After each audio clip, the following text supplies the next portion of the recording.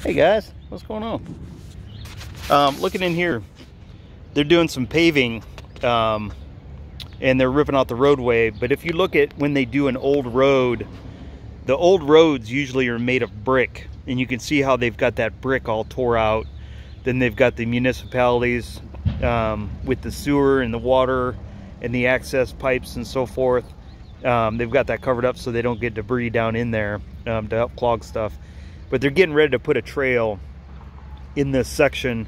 But first they've got to rip out all that road that goes all the way down to the brick and the structure from way, way, way back when.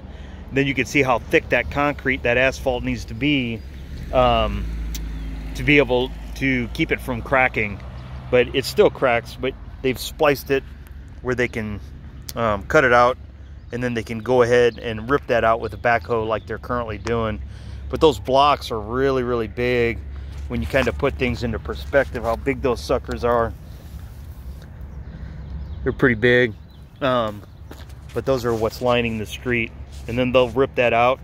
Then they'll come back through and make it look pretty.